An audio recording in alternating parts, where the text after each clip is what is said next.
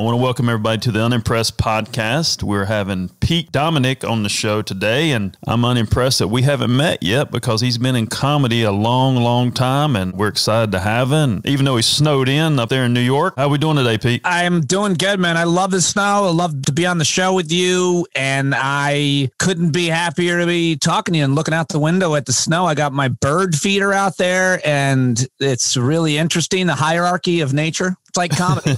Have you shoveled the driveway yet? No, that's what I'm supposed to be doing, but instead I'm talking to you. So I, I'll get out there. I tweaked my back too. I'm 45 and now all of a sudden I have back issues. So that won't stop me though. I will not stop me. I've got a mix of cannabis and ibuprofen and I will be out there shoveling. So you're a cannabis guy? You like a little cannabis? Yeah, I grow my own. Nice. Yep, I'm a big gardener. That's my hobby. Mostly it's, you know, vegetables and, and herbs, etc. But I, yeah, I, I always try to keep a few plants. I always, I've just started doing it, but yeah, love it. You said you've grown out of the stand-up piece a little bit. So what's going on with you these days? Well, you know, the the comedy scene is something that's great when you're in your 20s. You're single, you're working your way up the ranks, you're doing every kind of gig and everything that you need to do to be better and to network and to be a part of that scene. I mean, that's how you have success. You can't really have success if you're not in that scene and coming up. And I mean, you can, there are exceptions, but it's much harder, obviously. It's a very insular world, you know, comedy, and it's a very mean and cruel world by definition. I mean, we would sit at the comedy clubs, all of them, for years. I would sit at a table with Jim Norton, Robin Williams, Chris Rock, Jerry Seinfeld. I mean, not all at once, all the time, but they would come in and they would sit, and at that table, everything was equal. And what that meant would be you can hit the other guy as hard as you want verbally.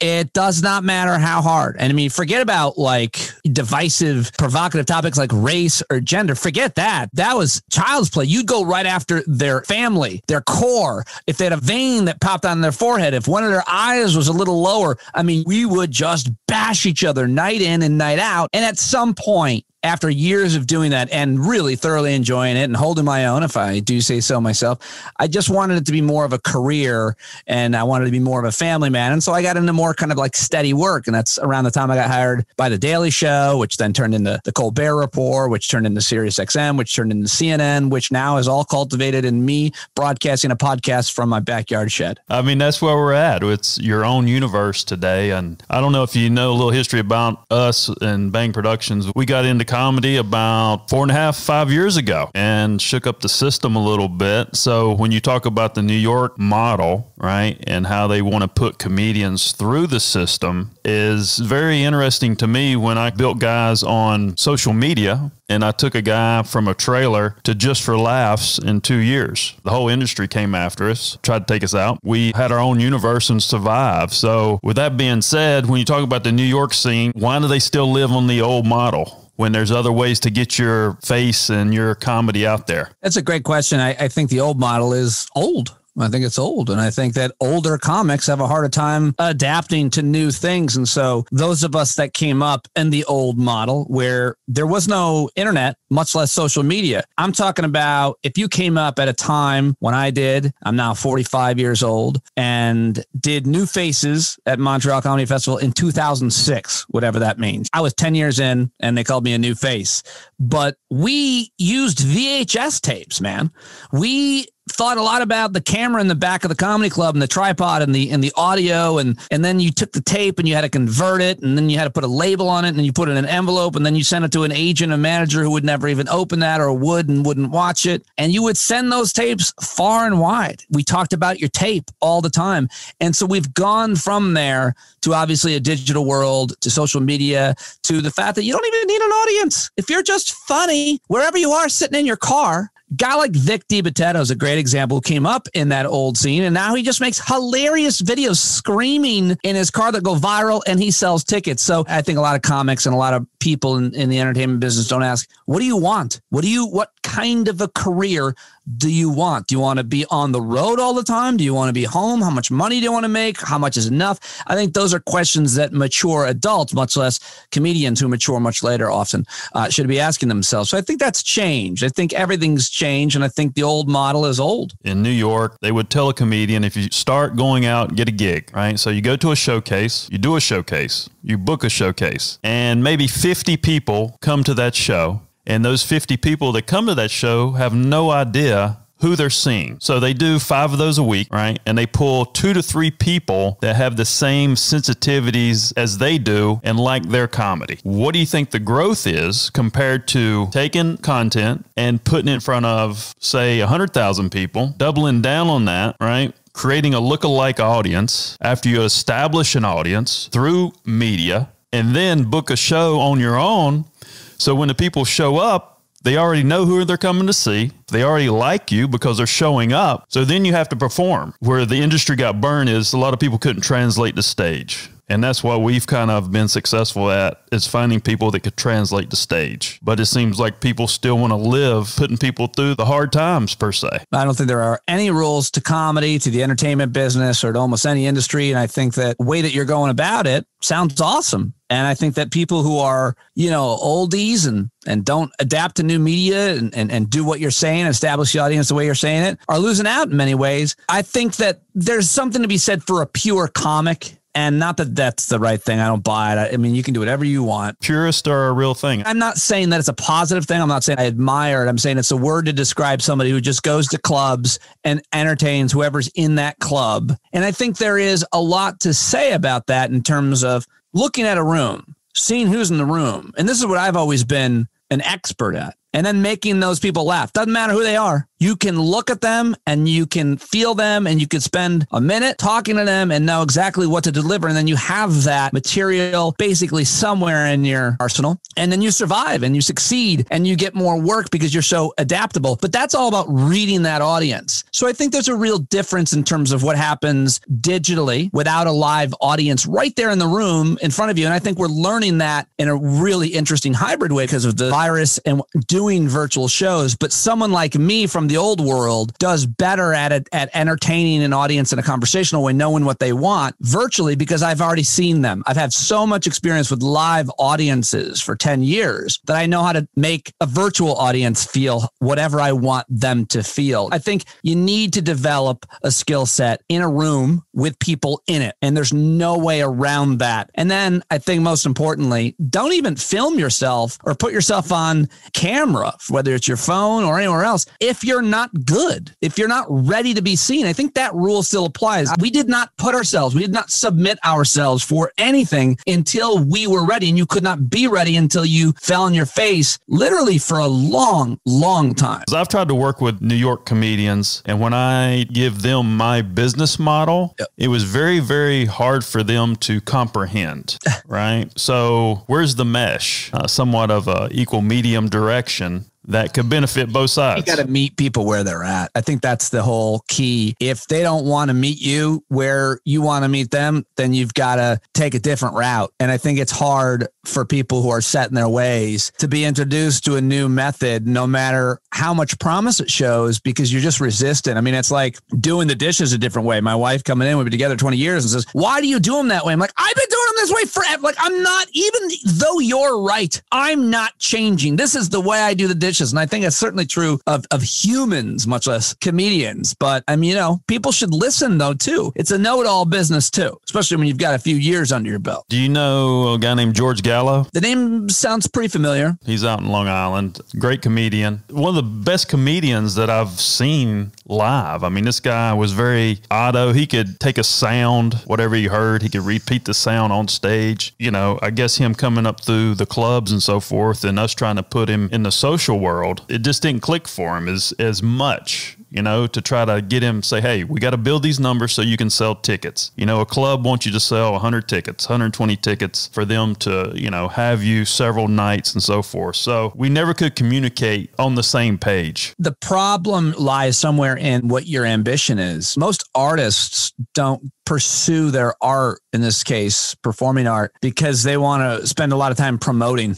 because they want to do what's going to get them more gigs. They just want to go and make people laugh in a room, and they want somebody else to maybe do all the promotion and, and help them get the gigs and do all the legwork. They're funny and they just want to go do stand up, and the work will come. I think that's a lot of guys. I think it's a lot of guys that are really good on stage and very funny, but they don't have interest in putting in the kind of reps that you need to market and promote. And it's funny because there's so many great guys that are so good and are trying to do the right thing to market and promote and, and try different things and failing. And you see it and it's just, it's hard to watch because they're so great on a stage and in a room. And it's like they just don't have any idea how to promote themselves. I mean, I've been there myself many times, just fall flat on your face trying to do something. What do you think about these gigs like you have now and the value they bring to a career with all the social media and visual opportunities out there? How do you think those weigh out? You know, like back in the day when you did the Tonight Show, right? That was the most pristine opportunity you could get, yeah. you know, for a comedian. Yeah. Now there's guys I know that are doing the Tonight Show or whatever, and they can't sell a ticket. Yeah. What do you think about the change in the times? It's just a saturated, saturated market. It's just sopping wet with talent and places to showcase talent. It's that's it. I don't find a lot of interest in even comparing them. It's just a saturated market. There used to only be a few places and a few ways to see people perform. And now there's literally billions and billions of, of outlets to be entertained by. And I think we need to talk about entertainment too, not just comedy, because what, are, you know, what do people want? I just think it's a good thing. I mean, I think it's good. It, it means there's more of a meritocracy that people who are very good, in this case, very funny, can succeed just because all they need is their phone. You remember back in the 90s when all the record labels, there was like a thousand record labels. The industry got way diluted, and then all those record labels came back, had to sell off, and it went back to like three or four. Do you see that happening in the entertainment business? Labels are corporations, and I just I see everything becoming more and more fragmented. Any big network name your network. It will be beaten up and blown out of the water by some individual guy that just is killing, doing a great show day in and day out, week in and week out. I think mostly that's the, the direction we go. Labels are different. That's now archaic. Now it's streams, right? And then ticket sales. No, I think we just get more and more fragmented and people, you know, put in the reps, they get good. You wanted to manipulate an audience in a room. Now you have to know how to manipulate an algorithm. What's trending? Where should I put this? What platform? And that stuff I will, you know, I have a lot of sympathy for the struggle of navigating all that because I'm struggling navigating all that. TikTok, now Clubhouse. Come on, man. I'm still on Instagram. I mean, I don't know how any of this shit works very well. I'm not great at it, but you have to be. I'm not complaining about it. I'm not going to make excuses. You got to learn it. You got to learn the stuff if this is where you want to have a career. What is your biggest challenge? Time. I produce a daily podcast with generally two guests. I book it, I host it, I edit it, I post it, I promote it. It's hard enough to do that with just audio. The editing process is something I insist on doing. I insist on owning it all myself and doing it all myself. And so it's a lot of work. And what gets lost is the promotion. And so I need, you know, help with editing and promotion. And I'll hire someone soon. I'm getting there. It's really growing and I'm really excited by it. It makes it hard, if anything, promotion and thinking about the longer, you know, vision of the of my podcast and my media empire. No, my, you know, I'm doing mm-hmm. this from the shed. I just want to be able to support my family and be in my garden. How many episodes have you done so far? I'm on episode 294, but I started going daily in March of 20. So I did three days a week, started in November 19. Then I went daily. So it's hard to compare. People have been doing podcasts for five years, don't have 290 episodes because they do one a week, but I do it every day, not to compare, but that just gives you a perspective on, on it. So I put it out every day. That is a lot of work. We've done, I think, four this week. You get enough content out there and you send it to the right places and it's good content I think you can be successful. It's just navigating that and understanding that. I worked with a company called Diply four years ago and met these guys who really have no concept of creative in the entertainment world or Hollywood. They really don't understand Hollywood. They're strictly numbers. Let's make this piece of content, this piece of content, this piece of content. Yeah. So, long story short, I hired a guy that worked for this company. They were one of the fastest growing companies in Canada. And my idea was, all right, how do I take this guy who's a Silicon Valley guy and we take my experience in Hollywood and how do we mesh that? We're getting close to something really, really good, but that's what we're trying to do right now. Good luck. That's awesome. I think that for me, somebody's talked about when I first started this, someone I trust, producer I used to work with at Sirius XM, he's like, don't overdo it. You know, quality matters more than quantity. And I used to agree with that. And now I kind of feel like the more that you put out of content and different types of content, listen, I mean, I interview academics and artists and journalists and scientists, all types of highbrow, you know, intellectual folks. But the people that my audience most loves and most talks about is when I interview my parents. And last night I interviewed my parents and I put a one minute clip out as a testament, I think, to my career and who follows me on social media, Twitter specifically. Jake Tapper of CNN retweeted it, his 3 million followers. And then Rex Chapman, who has a million followers, also retweeted it. It was a minute of me talking to my parents. Meantime, I'm over here booking and reading books and, and long form articles interview these highbrow intellectuals. And it's my parents' video that went viral. And so the idea is to not overthink things and do what you want to do and what's fun to do and what you think people will like and put it out in as many different ways as you can. But that can all be really overwhelming too. How much should I put it out? Where should I put it out? You know, when should I put it out? And all that shit can be overwhelming. So you just got to do the things I think that you like and that you love. I hosted a show five days a week for almost 14 years at Sirius. And I had several producers that I worked with over the years. But at the end, I had three people, three producers who helped me book. Obviously, they they ran the board and everything. It was a live show. I screened the phones. And now it's just me in my shed. It's a ton of work, but I like doing it. And I've gotten decent at editing. So I edit it and I curate it. I talk to smart, good people, and it's enough. I mean, it's it's growing. What you want to do, I think, is what I'm trying to say is pursue, you know, don't overthink all of the business of it. Just do things that you like and hopefully people like them. Otherwise, why do it, really? You never know what's going to go viral. Like you talk about your parents, you never know how people are going to respond. But I will say that simple relations, I think, get a, a very big response in today's time. You know, what do you mean? Like, for example, well, simple relations? Just simple relatability, something that people can relate their lives to every day or what they do in their lives. I think that's what comedians know more than anybody. I mean, maybe not necessarily, well, yeah, in a way, because comedians understand that because we have to go on stage and we have to say something that the people listening can relate to. And then hopefully, if they do, if it's a good night, it's a good joke, you feel them, you see that, you understand what it feels like for a person to relate to the words that you're saying. And that goes for all of the rest of the content going to produce. Because I think one thing that was really fascinating and challenging at first for me was going from comedy clubs to big theaters and my career's on fire. You know, there's a lot of people at shows. I was opening for some big name comedians. So sometimes I'd be in huge theaters. Then I go into a studio. There's nobody. Yet more people are listening than ever saw me live in a theater. But you have to imagine them in your mind. You're on live radio, national radio, but nobody's there, man. How do I know how they're going to feel if I say this or that? If they're going to laugh? Mm-hmm. Comedians who have a lot of experience, I think, in front of audiences over several years, bring to other spaces like podcast, YouTube, TikTok, etc. So you know what's good. And you doing stuff out in LA at all? I mean, I have in the past. The last time I was out there was to be on Real Time with Bill Maher. And how was that? How was Bill Maher? He's fine. He's exactly how you think.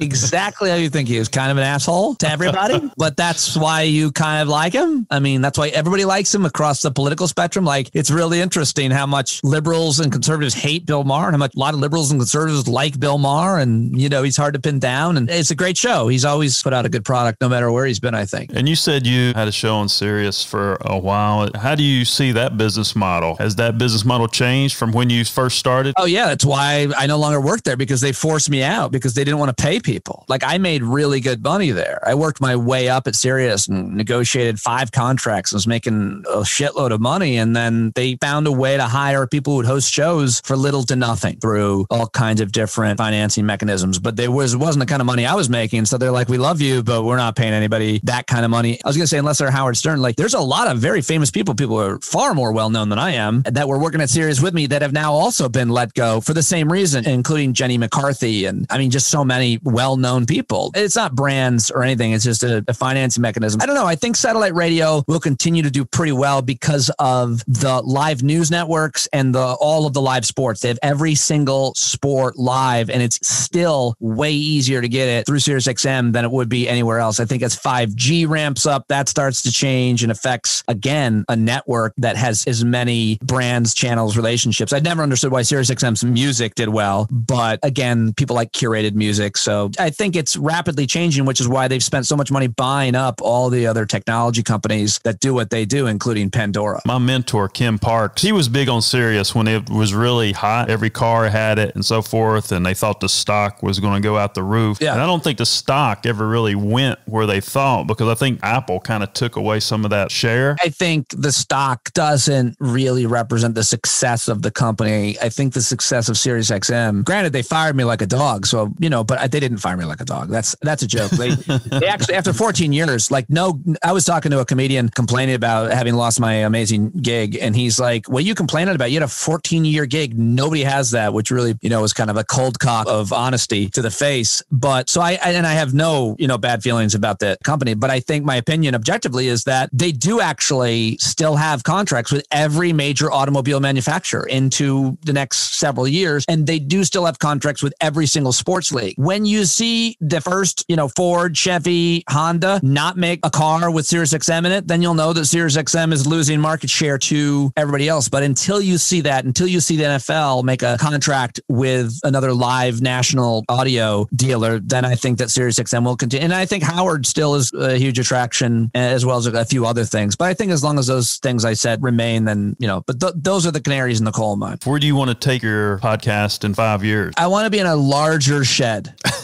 I'm not even joking. The idea of working for myself from home after corporate media in Midtown Manhattan for a third of my life, this is way better for my stress, for my quality of life, for my own sense of control and sanity. I'm in the shed for two hours. I'm out of the shed for two hours in the woods, you know, building in my garden. I don't ever want to go back to corporate media. And like I said, I don't think corporate media is the future. I do like collaborating and working with people. So I hope to find a way to connect sheds, if you will. But in five years, I hope to be living in a different place that I like more than where we live now and a different shed, preferably at the base of a mountain that I can ski down every morning. Nice, nice. So, talking about New York, right? Has the intensity heightened since this pandemic? That's a, a question I can't answer because I'm not like I'm out of the loop. I'm out of the scene. Even if you phrase it differently in terms of as the intensity heightened, I think the intensity is heightened online. Who has the best ideas to take their career digitally, virtually, you know, whether it be, a, I mean, you know, you've got a, a comedian like uh, Tim Dillon, who I don't know. This guy was killing it traditionally, doing stand up, but he was also doing very funny video sketches that helped him build a, a social media, Instagram, I think, and probably YouTube. And now he's got a podcast and he's supporting it like I am through Patreon. And the numbers are like $90,000 a month. Yeah. I think that people like him are super smart and adaptive and have been able to find an audience online. And I think so that's where the intensity, that's where the competition, that's where the most importantly, the creativity line. What are you going to do when the comedy clubs are closed so that you don't have to go sell cars? The club, they're still closed now, right? In the city? Um, yeah, in the city, I think most of the clubs are still closed. I'm not positive where they're at right now. It, it, it changes so rapidly. Right now, our governor is trying not to lose his job. Do you think the city comes back strong after some of this dust settles? The comedy scene, I think, will. I think live performance is the question. I don't think you need to talk about comedy. I think you need to talk about comedy and music, you know, jazz clubs in New York, but mostly, you know, comedy and theater. So live performance, I don't think the internet or any social media or any phone in your pocket will ever beat live performance. I think people are scared to be sitting next to another person and an audience at a movie, much less at a live, you know, Broadway stage, comedy club or jazz club. I think it'll be weird for a while until it, it isn't. And I think we will return to close to normal. I think is is probably the, the least interesting but most likely answer. How did you and your family respond when this first came down? Thought it was over. I thought it was over for me. I mean, I thought it was over for me when I lost my job in October 19. I've documented this pretty well in my podcast and on Katie Couric's Medium page when I wrote an article about it. That losing my job saved my marriage was the title of that article. But I was starting to do well with the podcast. My wife was starting to her her business was going well. She's a, like a health coach and a personal trainer, and she would go see people, and she's doing well. But all of a sudden, you couldn't go see people, and a lot of my money at that point was coming from stand up and personal appearances and gigs. So all my gigs got canceled, and we put really all the chips into this podcast and this shed, and that's really the only major investment. And it was really not much of an investment. I went daily, and people responded because I was daily on Sirius XM, and believe it or not, they waited and, and, and took me back in. Those listeners and are, supporting me with subscriptions. So I went daily, and it, it really started to take off. It's not near where I want to be, but you know, 820 paying subscribers is nothing to, to laugh at, and and keeping it consistent and keep adding. You know, if you can get to around 3,000, 5,000, you're gonna have a great lifestyle. And if you can have that lifestyle and do what you want to do and do gigs and do things virtually and do a hybrid of all of it, then good for you. I'm a big believer in people doing what they want and being as happy as they can without hurting other people. Well, I'll tell you something we did as a family. This is how extreme we were. Like we'd follow the rules or whatever. She'd go out, we go to ShopRite or whatever. As soon as she walked in the door, she'd take off all her clothes, jump in the shower, Yeah. wipe down down the cardboard boxes, yeah. you know, all this kind of stuff. What do you think about that mindset initially compared to where we're at now? Well, I think that was actually a not inappropriate mindset initially. I think with a virus that kills you the way that this kills you, there's nothing wrong with being too scared of it. And as we learn more about it, that you can't get it by touching something off your groceries, people stop doing that. I have no problem with people overreacting to a goddamn viral pandemic. I have no problem at all, especially Americans. You know, it's Africans have a lot more uh, experience. Asians have a lot more experience with H1N1 and in Africa, Ebola. And so it's a different reaction, obviously different culturally as well. But in America, we've never had anything like this. And, and neither is our parents or our grandparents. I never took my clothes off and got in the shower, but I was always more extreme than my wife. I did wipe down the groceries a few times until I did say I'd rather die choking on my own phlegm, saying goodbye to my kids on FaceTime than wipe down another box of tissues. But yeah. turns out science can only keep up with the virus as the virus mutates. And so, you know, you learn its behaviors as it creates those behaviors. And so now we know a lot more about it. And now obviously the vaccines, again, with, with science have been developed. So it's such a game changer. And the interesting thing lies in the discrepancies between couples themselves, the husband, the wife, the, between two people who are partners. If one person's way over here on anything, but on hygiene or on fear, like my, I'm way more concerned about the virus than my wife is. And that crevasse, that small disagreement can become a really big thing. It's been hard for my, my wife and I had some major fights over, you know, letting our kids go here, my wife with her work. And it's been tough for, I think, for couples, you know, any other effect. Yeah, I think you find out who you're really married to. There's a really important question I think that, that Americans just need to, to try to have a more serious conversation with this question about do you care about strangers? Do you care about strangers? Because we've had a couple generations now of stranger danger and telling our kids to be afraid of strangers and there's, you know, pedophiles and rapists everywhere. And the truth of the matter is it's all bullshit. I mean, our kids are way safer than we were. And yet we are way, our generation of parents is much more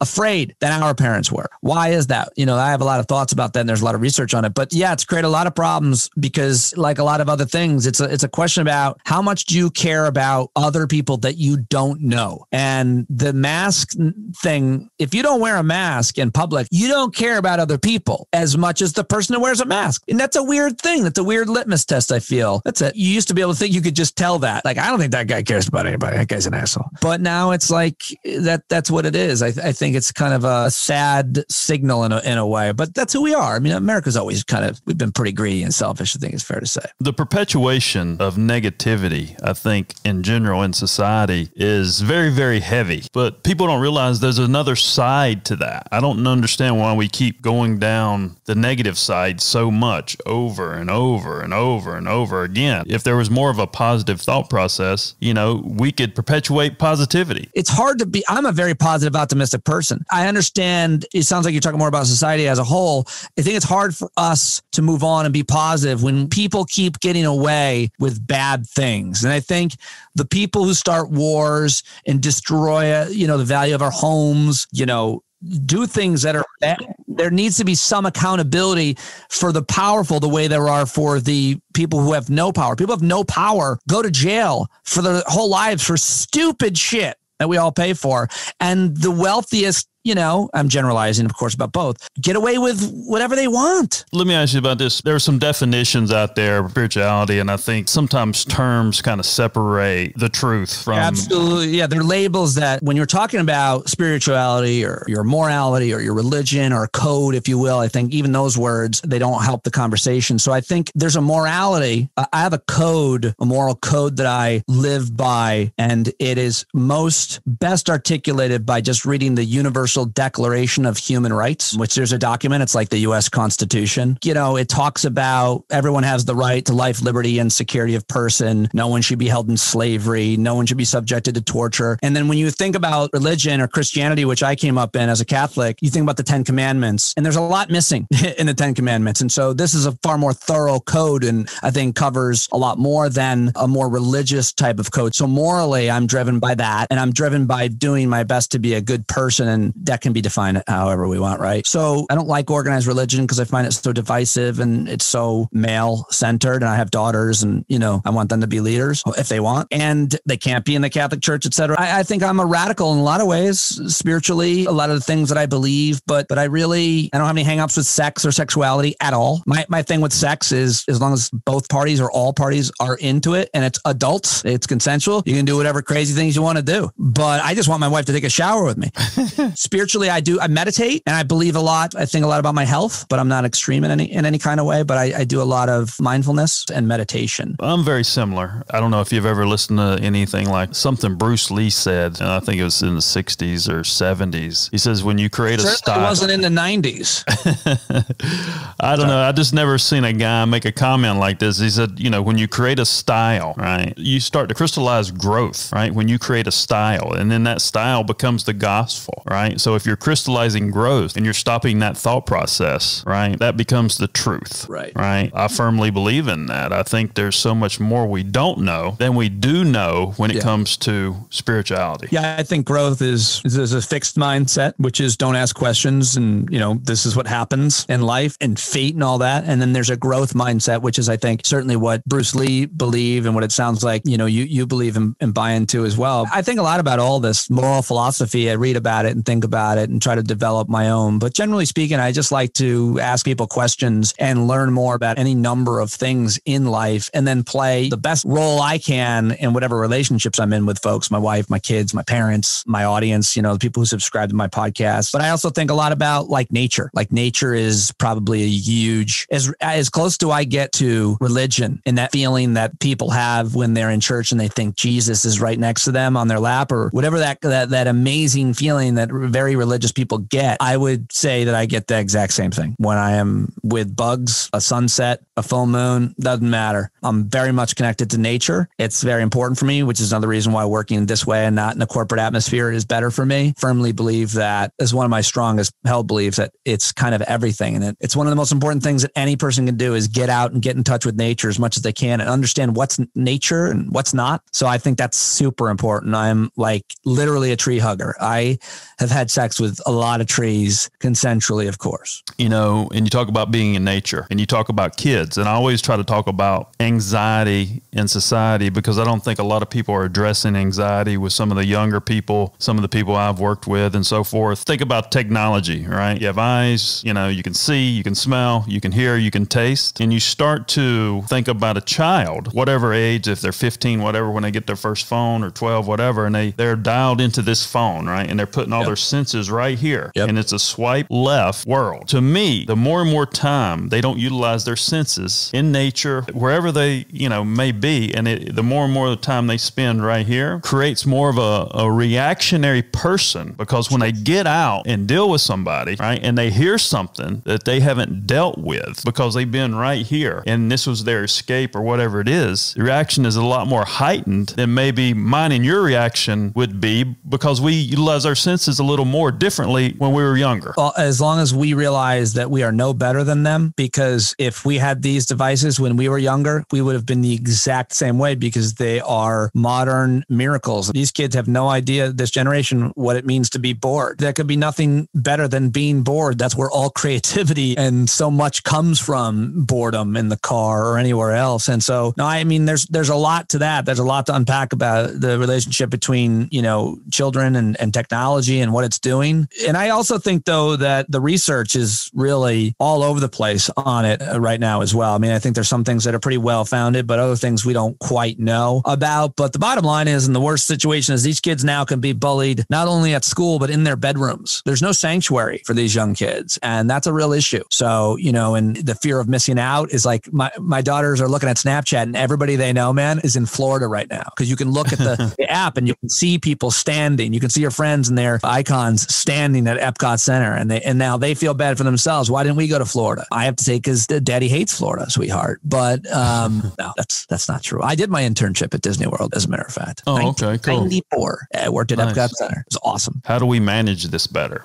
And how do we find a better balance? Are we talking about our, talking our about own the, relationships with technology? Well, well, you know, helping kids understand, you know, yes, there, this is a lot of information. You will learn a lot from this technology, right? How do we implement a better management system so these bigger problems don't develop later in life? It's very hard. And I will tell you, anybody that says that they know the answer to that doesn't, because we just don't know. We don't know what effect it's, it's really having on them because as you just articulated well, there's a lot of both sides. Some things are really good and a lot of things are very bad. But I think going back to kind of my spirituality, like anything else, balance is everything. You're a diet that's balanced, exercise, relationships, and a balanced relationship with your technology is probably the best thing you can hope for. It's very hard to establish that for ourselves. I got to turn off my phone. I got to turn off my watch. I got to, you know, turn off the world and go into the woods, much less for our kids who have no, you know, concept of it, much less a lot of the resources that that they may never have to make certain decisions on balance. I mean, it's it's hard. So I don't think there's a good answer to that, John. I just don't. Well, you're I mean, you're absolutely right. You know, uh, there just has to be some awareness, you know, and I think when we came up there was what dare, you know, uh, ah. they had the big drug thing, you know, maybe there's something like that just to create a little awareness or whatever. Those are some things I think about. And then the spirituality thing. As much of a as long as it's not as much of a failure as the dare program. The dare program has actually been a miserable failure, and more kids like do drugs as a result of yeah. Dare introducing them and telling them not to. Uh, I always my daughters went through that, and I was like, "Oh, Officer Pete is coming to a Dare." I'm like, "Oh, I bet yeah, you." Maybe that Pete. maybe that wasn't a good example. no, but no, I think a better example might be another acronym, which is MADD, Mothers Against Drunk Driving. If we're talking about our generation, one really big cultural change was a lot fewer people died because of organizations and movements to get you know young people to not drink and drive because that was a, a much worse issue, believe it or not, than it is now. So, but I don't know. I mean, I think that's why people need to work together. People need to communicate and establish organizations, not loose organizations, you know, and communicate and share best practices now more than ever. Whether it's COVID, you know, your relationship with your phone or exercise, whatever, like people sharing ideas about how to navigate these things that we don't know that much about is super important, which is why I love talking to people like you. Well, I think we have to be human beings again. Well, you know, there's a lot of really interesting work being undone in conversations and books and, and studies being done on the future of the the the hybrid, you know, the what do they call the human beings that are that are part robot, meaning we're gonna have all these things inside of us. We're still humans, but then, you know, much less AI. And I, I mean, I don't like any of it. I'm kind of Ted Kaczynski at this point in my shed, minus the terrorism. Eh, he had a pretty good philosophy if he wasn't fucking killing people all the time. Just all this technology. I just I don't love it. I'm a nature guy. I think we're we're eating our planet alive. And so we need a better balance. But there's a lot of really important moral conversations being had by bioethicists and economists, you know, about what the way forward is that is ethical. And I'm here for those arguments. I'm not smart enough to weigh in, but I'm happy to listen and decide where I stand. Getting a clubhouse notification right now. A clubhouse notification. What's Are that? on this one yet? This app, Clubhouse? it's crazy. Are you on this app? Uh-uh. Clubhouse. You don't know about this yet? No, I don't know about Clubhouse. Oh, dude, you'll know tomorrow. It's I've, I've never seen anything blow up as, as fast as this. And I accidentally connected it to my, my watch and it's notifying me all day that people want me to be in their clubhouse conversation. Clubhouse. Yeah, you have to be invited. I will send you an invite. They make it sound exclusive, but it's not at all. when I first got invited, I was like, oh, yes, of course. And then I went on and I saw like that every single person I grew up with like farmers' daughters are on it. And I'm like, what?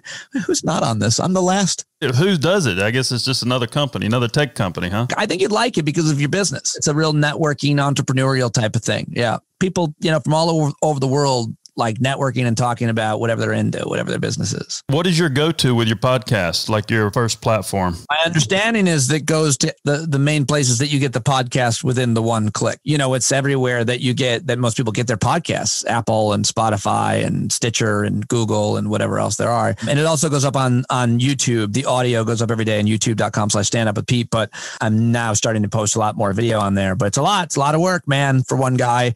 I don't mind it. I'm not complaining, but, you know, I got to keep up up. Once the distribution is done, when you market, do you take those links and try to promote them other places? Yeah, yeah. I don't know how much it works, but yeah, I always post, you know, today's podcast up on Twitter and Facebook and, and Instagram. I mean, I do it every pretty much part of my workflow. That's the last thing I do is set it to, you know, I schedule tweets And do you do the sponsorships and everything yourself? Yeah, I do. I unfortunately do. I would like to probably hire someone for that as well. But I'm, I'm I have a hard time ethically taking money from companies unless they really believe in the company, and I'm very scrupulous, and so that's hard for me. My my wife doesn't like it because my wife wouldn't care if I sold bullets and oil as long as we were making money. I have one sponsor which I'm really proud of, which is GiveWell, and they're an amazing nonprofit which helps solve the worst kinds of health problems, most impoverished areas in the world. So they sponsor the podcast and I promote the hell out of this nonprofit that I believe in and I feel good about it.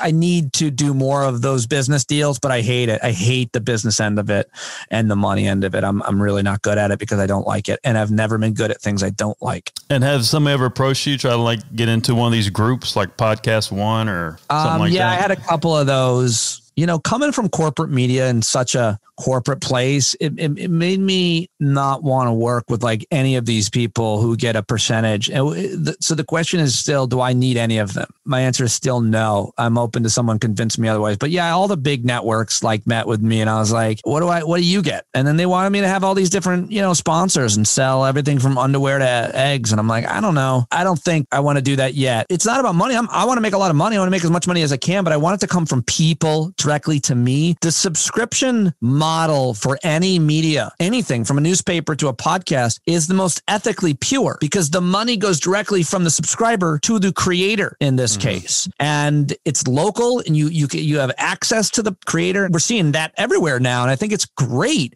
really great. And so some people want to add to that and, and add and add corporate sponsors and stuff. And I'm not opposed to it because I haven't been so open, you know, in an offensive stance trying to market myself to get that. My wife would like me to put it that way, man. I hope she doesn't hear. Well, that. that's hey, that's a good thing. I believe in that. There's a lot of deals you should say no to. To be fair, I've taken money from all kinds of horrible companies and corporate gigs over my career, and I would go and do a speaking gig for uh, a company or industry that I didn't believe in, and then I would donate their money. Like if Exxon wanted to hire me to come in and talk about sustainability, I'd go and I'd fucking take their money and I would give it to the Children of Nature Network. Like, fine, you want me to speak? It's the easiest thing in the world for me to come to your fucking place and speak. And you're gonna put me up in a five star hotel and fly me, you know, first class. Fine, I'll take the money and I'll give it to the, you know. So it's like, and it's all about what my kids, my daughters see me do. It yeah, matters yeah. to me. It's it matters a great deal to me yeah, what kind of person they think I am. Yeah, that's a big deal. If you're passionate about something, you build value in yourself and and your message definitely is the most important thing. Yeah, I think that's why I have, you know, some of the support I have or go I think people that know me